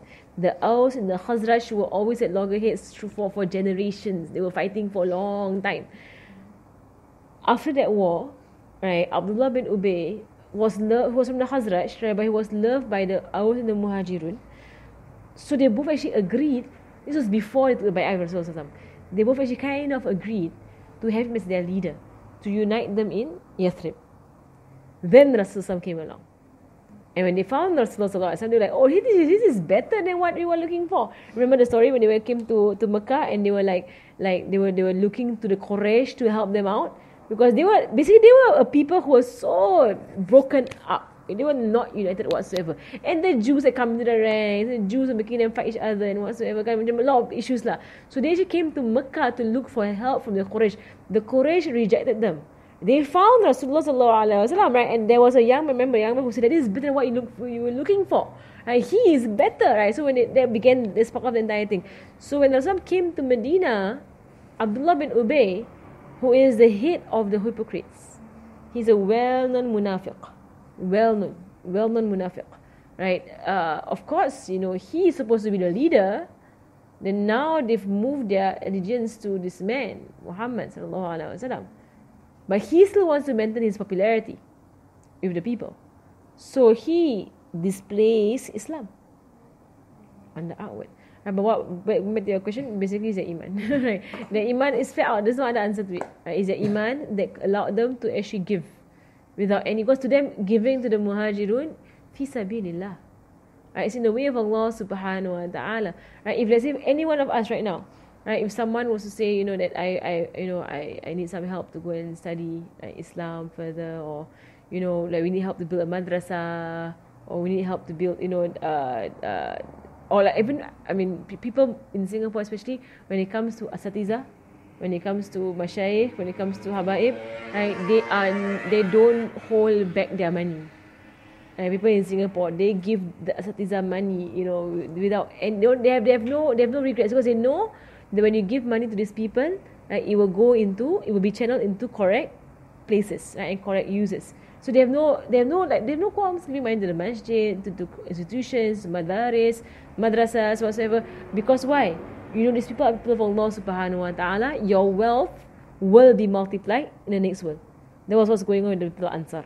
Right? When they saw them bring their wealth, it's not a, a, a loss for them, right? but it's basically these are the Sahaba, the Muhajirun. They were the first, foremost people who entered into Islam. Of course, I give my wealth to them. Right? Of course, so it's, it's more of you know that, that, that, that situation. So in Medina right now, okay, now Rasulullah has entered Medina, right? And when we enter into Medina, we're going to speak about his entrance into Medina, and I'm going to speak about the, the, the, the environment of Medina, right? For us to understand this. So when Rasulullah entered into Medina, first and foremost, the first thing that was heard from him, right, was that he says, Ya ayyuhan nas, afshu salam, right, spread peace. Wa at'imu ta'am, right, and, and, and feed the people food. Uh, wasilul arham, right, and, and connect your uh, statul rahim, wasilu, I means connect. Connect your rahim, it means statul rahim, it means connect your ties of kinship. Uh, وَصَلُّوا بِاللَّيْلِ وَنَاسُ النِّيَامِ right? And pray in the nights when the people are asleep. تَدْخُلُ الْجَنَّةَ بِالسَّلَامِ Right? You will enter paradise you know, in peace. Right? So the first thing he said when he entered into Medina were these words. Right? Oh people, spread peace. And who could say that he is a man who is power hungry and he is, you know, out for war? Right? The first thing he entered into Medina, he said, spread peace.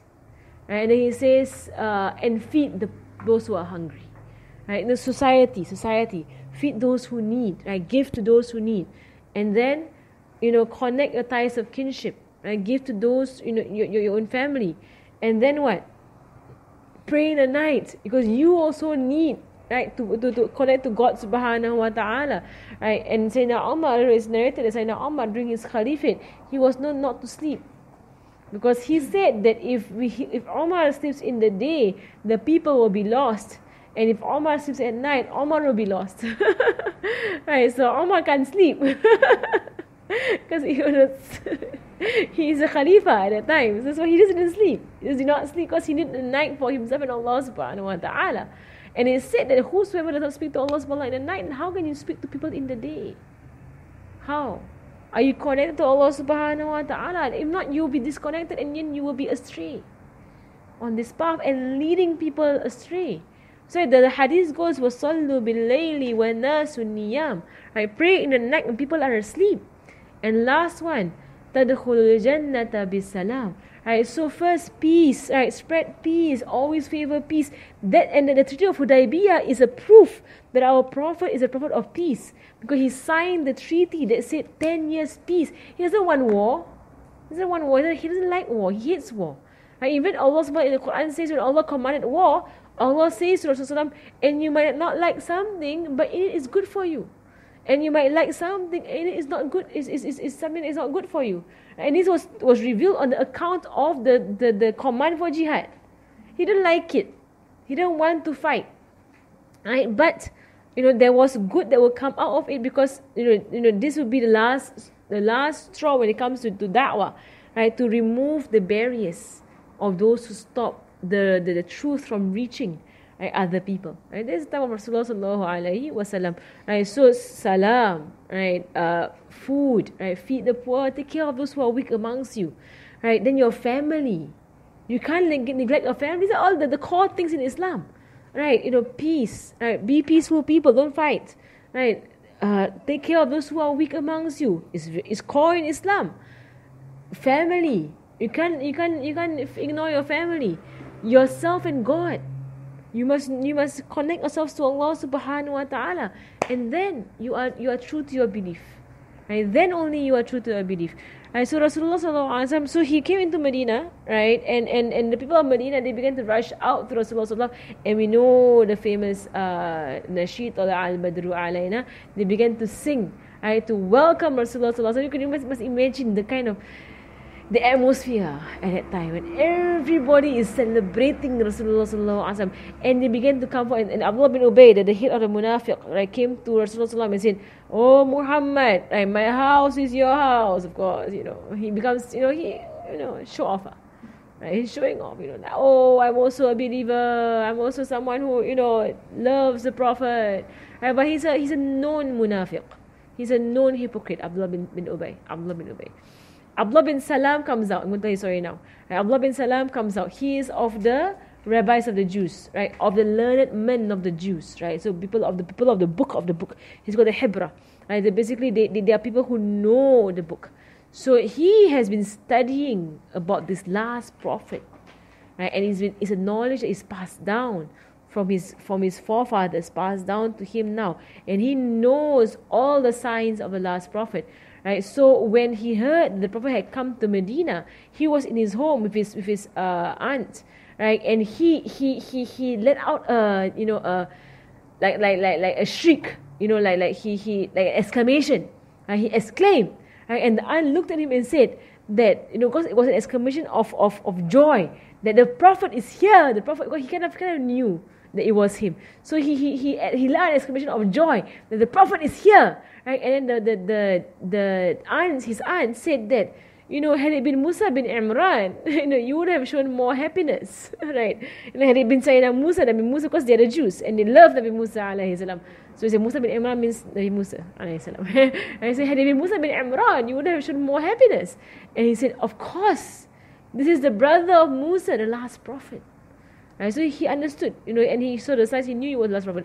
So he came out to meet Rasulullah when he first came into Medina, right? And he looked at the face of Rasulullah and he knew he's a prophet he knew without any doubt that Rasulullah sallallahu alaihi wasallam right is the uh, the last prophet right I'm going to read his his uh, his story here eh? right so so uh, so رواه بخاري في الإس, uh, في الإسلام عبد الله في الإسلام عبد الله بن سلام uh, فقد كان حبرا right? he was a rabbi he was a, a, not a rabbi but you say of, a, of the learned men of the Jews right فطاحل ulama min min al-fatahala ulama al-yahud he was of the, the the highest you know standing uh, scholars of the Jews ولما سمع بمقدم رسول الله صلى الله عليه وسلم بمقدم رسول الله صلى الله عليه وسلم بالمدينة في بني نجار جاءه مستعجلا right he rushed to Rasulullah الله عليه وسلم when he heard that he had come into Medina وألقى إليه أسئلة لا يعلمها إلا نبي Right? And he gave him some questions that he knew from his book that nobody would know the answer except a prophet. Right? Of course, Rasulullah answered them. وَلَمَّا سَمِعَ رُدُودَهُ right? When he heard the, the, the response from Rasulullah sallallahu عَلَيْهَا آمَنَ بِهِ Right, so it, uh, so of course, the moment he heard the answer from Rasulullah, he, he believed in Rasulullah. Of course, from the faith of Rasulullah, he knew right, that this was definitely the last prophet. So he was of those true Jews. Right, they were true to their book, true to their knowledge. Right? So he became, uh, he entered into Islam. Right? And then he said to Rasulullah Ya Rasulullah, Inna Yahuda qawmun buhtun. Right? For surely the, the, the, the, the Jews, they are a people right, who lie. Right? They are slanderous and they lie. Right? So he knows his people. He knows what they are. And he says, in in ala in alimu bi islami qabla an tas'alahum bahat uh, bahatuni indak فأرسل رسول الله صلى الله عليه وسلم فجاءت اليهود so he says to Rasulullah if they knew of my Islam right now before you ask them about me they would slander me it means they would you know they're known for that right they would say bad things about me ask them about me first before they know that I'm a Muslim ask them first. What will they say? Kan? So Rasul called the Jews and they came. فدخل ودخل عبد الله بن سلام البيت فقال رسول الله صلى الله عليه وسلم أي رجل فيكم عبد الله بن سلام So Rasulullah Abdullah bin some narrations say that he was hiding, right? And some narrations say he was there with them in the house. So Rasulullah said to the Jews, Who is Abdullah bin Salam amongst you? Right? What kind of man is he? And قالوا عالمنا وابن عالمنا وأخيارنا وابن أخيارنا Right, so he is the most knowledgeable of us, and the descendants of those who were most knowledgeable of us, and he is the best of us. The descendants of those who are best of us. right? So and Sayyiduna wa Ibnu Sayyiduna, and some said, right, that he they said, and he is our our leader and the son and the, the descendants of our leaders, our Sayyid, you know, those who the one that we have exalted. And then uh, Sayyidina Muhammad wa afdaluna wa ibnu afdaluna. So they were praising, they were praising Sayyidina Abdullah bin Salam, the best of us and the son of the best of us. فقال رسول الله صلى الله عليه وسلم أفرأيتم إن أسلم عبد الله So some said to them, What do you think if Abdullah became Muslim? If he entered into Islam? And فقالوا أعاذه الله من ذلك And he said two times, right? Or three times. May Allah protect him from that. they said that. No, Allah will protect him. He knows better. He knows better. So فخرج إليهم عبد الله. Right, so now Abdullah came out of his place. Right, he said, أشهد أن لا إله إلا الله وأشهد أن محمد رسول الله. Right, so he proclaimed his Islam in front of them. And فقالوا شرنا وابن شرنا right wa ibn sharrina right the worst of us and the son of the worst of us right and some of them said you know uh, uh, he is the most uh, uh, jahil of us and, and and the son of all those who are jahil of us the most ignorant of us and the son of the ignoramus amongst us right so they began to change their words exactly as how Abdullah bin Salam said they would do Right, but catch them first, right? And hear what they have to say before they knew he's actually a believer. Then see see how they are. So from then on, Rasulullah is to not trust them. Right? Because that's how they are. That's how they are. And they change their words as you know in accordance with their nafs. Right. So and then uh Wafi loves it. So so uh, and then and then uh, Abdullah bin Salam uh, said to them, Ya Ma'ashar al Yahud, oh the, the tribe of the Yahud, Ittaqullah have taqwa for Allah subhanahu wa ta'ala for Wallahi alladhi la ilaha illahu. For surely, I, I swear by Allah, the one that there is no God except Him, Innakum la ta'alamuna annahu Rasulullah. وأنه جاء بالحق Right, so Sayyidina Abdullah bin Salam said, For surely, I swear by Allah, the one that is no God except Him, for surely you know that He has come, that He, that for surely you, you all know, there is no doubt you know He is the Prophet of Allah subhanahu wa ta'ala, and that you know He has come with truth. Right, so He called out His Yahud, the, the Jews. You all know, you know this. فَقَالُوا كَذَبْتَ and they said you have lied right who's the liar here right so here is the first meeting of rasulullah with the jews. And they will prove to be trouble till the end. Right they will not be good news. Right they will prove to be trouble from beginning to the end. And every tribe of there were there were three jewish tribes. Every one of them betrayed the muslims. Every one of them. There will be one very soon who will betray. Then one by one they will all each of them will betray the muslims whereas they have taken a pact with the muslims right to actually uh, uh, that they are on the uh, alliance of the believers right but they betray right they will betray right so um, actually i want to go through the camel story very quickly eh so basically Rasulullah uh, when he entered into Mecca, into Medina, the people were trying to say, "Come to my house, Rasulullah. Come to my house, Rasulullah." You know, to, to, to invite him to their house. But Rasulullah said, uh, leave the camel. They try to grab the reins of the camel. Right? They leave the camel, for surely she is commanded. Right? She's under the command of Allah subhanahu wa ta'ala. Right? So the reins were placed on her neck, right? backwards. That means over her head. That means not in front of her, but behind her. Right? And she was allowed to walk.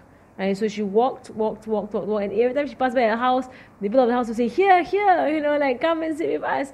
Right? So eventually she came to a land, right? And then she sat on the land. Right? And then she got up, and she walked around again. She came to the same place and she sat. Right? So Rasulullah said that, okay, right, this is the land that Allah has chosen for us. This is the land whereby we will build our the mosque and the house of Rasulullah. The closest house to that land was the house of Abu Ayyub al-Ansari. Right, uh, and he's of the also mentioned to be the the the the, the, the relations of Rasulullah from Bani Najjar. Right, Bani Najjar are the maternal uncles. Remember that Sayyidina Hashim married a woman, Salma, from the beginning, yes, her family, right? So Bani Najjar is her family, her tribe, right? So that's why Rasulullah has family in Medina from his great grandfather, Sayyidina Hashim. Sayyidina Hashim, Sayyidina Abdul Muttalib, Abdullah, Rasulullah, Sallallahu right? So just three generations up, right? So that grandmother, Salma, right, who gave birth to Abdul Muttalib, right? Her family is Bani Najjar, right? So he has relations through there. So they're like they're like third cousins, right, or fourth cousins, right? They're basically that far lah, right, in a way, but still family, right? Um, and this land belonged to the people of Bani Najjar. In fact, this land, when you go back in history, there was a king called Tuba. Right, Tuba, this king called Tuba, he is mentioned in Surah Dukhan. In Surah Dukhan, you will see the word Qawmu Tuba. Right, Qawmu Tuba, the people of Tuba were disbelievers. So in that surah, Allah spoke about them in how Allah destroyed them. Tuba himself was a believer. Right? He was a believer, his people were his believers, and eventually they killed him. Right? Because he was a believer. He actually went past Yathrib. And this was, was like hundreds of years before Rasulullah. He was of the ancients. And of the ancients, he passed by Yathrib, right? and there were already Jews there who were waiting for the coming of the last prophet. Right, so when he was there, he heard of the Jews of Yathrib, and this was years, centuries before Rasulullah. Right, when he was there, because we see from from between Rasulullah and Sayyidina Isa is a good 700 years, you know, 500, 500 years. And from Sayyidina Isa to Rasulullah, he was born in the year 571, or 570 in the Christian uh, era, right, Christian calendar. Right, so so there was this uh, 500 years of gap lah. So the Jews had figured Medina out by then, and they were already there. So Tuba was of the ancients, right? Uh, between Sayyidina Isa and Rasulullah, he came to Medina, he f- met with the Jews there, and he was told the last prophet would come and settle in Medina. So he actually bought land in Medina, and he basically like uh, wasiat, right? He placed uh, a will on the land, or or like a like a advice in the land, or waqf the land, right? That this land is to be given to the prophet when he comes. So he bought the land and he sedekah the land to the Prophet when he comes. This land was handed down from father to son, father to son, right, all the way down, right, to Sayyidina Abu Ayyub al-Ansari. So he inherited a land, right, and it's also part of, and it's, it's also the land also belongs to, uh, so there's, there's this part whereby, part of it belongs to Sayyidina Abu Ayyub al-Ansari, and the part whereby the mosque is to be built belongs to orphan boys. Also from Bani Najjar, also from a land that this Tuba actually bought right, and, and dedicated to the Prophet Wasallam. So now Prophet Wasallam has come to that land, right, is the way Allah ta'ala has fulfilled the wish of Tuba right, as, as a righteous man. Right, that the Prophet will live in your land and Allah was the one who oversaw right, that, that indeed the Prophet will come and he will live in the land that you uh, dedicated. So you know, you see, you can even do a good deed, right? For someone who who will live way, way, way, way down the road, but Allah subhanahu wa ta'ala, because of your sincerity for your good deed, right, Allah will preserve it for you and materialize it for you. Right, even though your descendants are gone, right, you are gone, nobody's around, no one even knew of this will. Right, uh, they don't even know that this land was meant for the Prophet, no one knew. It was not passed down, the knowledge of that. But Allah knows. And Allah preserved the land, Allah reserved the land, right? Rasulullah bought the land over from the orphan boys. Of course, it's his land because it was dedicated to him from Tuba, right? But of course, he bought over the land, right? And he uh, lived with Sayyidina Abu Ayyub al-Ansari until his own uh, rooms and his own mosque was built, right? Then he moved into his rooms and his mosque, right, with his wives, right? And his daughters had their own rooms also by the side of the mosque. Right, so it was not a house for him, but there were small rooms. And it was said that the small the room of Rasulullah if a young boy was to walk in, because the Hassan Basri describes when he was a young boy, he walked into the room of Rasulullah and he reached his hand up and he could touch the ceiling as a young boy. That was how small the rooms were. It was enough for two people to sleep. Right? Because Sayyidina Aisha said that uh, whenever he would uh, pray, right, she would have to bend her knees right, for him to be able to pray in the room, right? The small room that they actually used to live in. Alhamdulillah, Alhamdulillah. Right? May Allah subhanahu wa ta'ala grant us the deep love of Rasulullah sallallahu alaihi wasallam, enable us to see him in our dreams, in a weakened state, enable us to see him on the day of judgment. It's the most important part. To see him at the point of death, on the day of judgment. To say that we, we, we, we, we studied his life out of deep love for Rasulullah of wanting to know more about our beloved and wanting to be able to follow Rasulullah The strongest way by which you hold on this religion is to learn from, is, is to love for Rasulullah and the strongest way to fall in love with Rasulullah is to learn his, his, his, his life. Right? and that will fill you up. And what is good and what is uh, beloved to Allah subhanahu wa ta'ala. And may Allah subhanahu wa ta'ala allow us to be of the Ansar because now we're going to enter into the Ansar, story of the Ansar. And, and, and every time, every era, there will be the Ansar. Right? There will be those who will help this religion. Right? Who will be to the, to the service and the assistance of this religion. May Allah subhanahu wa ta'ala make us of those people. Right? Who will be of the service and of the assistance of this religion. And fill our hearts right with the with the light of Rasulullah sallallahu alaihi wa alihi wa wasallam. Right? And subhanAllah, and be of those people who rejoice when Rasulullah came into Medina as how we should rejoice that he has come into our lives. Whereby there were those of them in in, in, in, in Medina right who would they would who they would sing to Rasulullah that we are right the, the the neighbors of the Bani Najjar and they were they were saying, you know, we are the, the, the neighbors of Bani Najjar and we will love to have Muhammad as our neighbor. And then the Rasul turns to them and said that, Do you all love me? Right? And they said that, you know, for sure we swear by Allah, Ya Rasulullah, we love you. Right? And then he says to them, For surely I swear by Allah that my heart loves all of you. This was his coming into Medina, where he where they subhanAllah, you see the kind of love that is between them and Rasulullah sallallahu alaihi wasallam. May Allah subhanahu wa ta'ala allow us to experience such love from Rasulullah sallallahu alaihi wasallam. May Allah subhanahu send His great salawats and blessings, salutations and blessings unto, unto our Prophet wasallam. Right, the one who pointed us to to Allah subhanahu wa taala, who guided us to Allah subhanahu wa taala.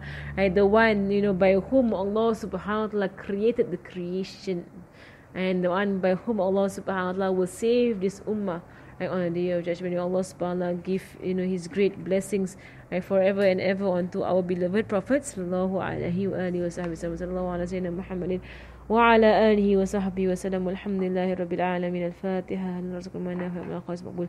وحسن التعاني والدلالة على الهدى ويسر بالقول صلى الله عليه وسلم والأرواح معالمين مشايخنا وذوي الحقوق علينا وإلى حضر النبي صلى الله عليه وسلم. الفاتحة.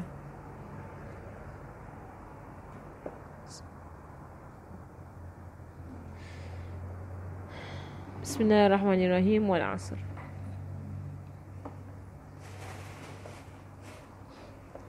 سبحانك اللهم وبحمدك أشهد أن لا إله إلا أنت أستغفرك وأتوب إليك. وصلى الله على سيدنا محمد وعلى آله وصحبه وسلم والحمد لله رب العالمين. آمين السلام عليكم ورحمة الله.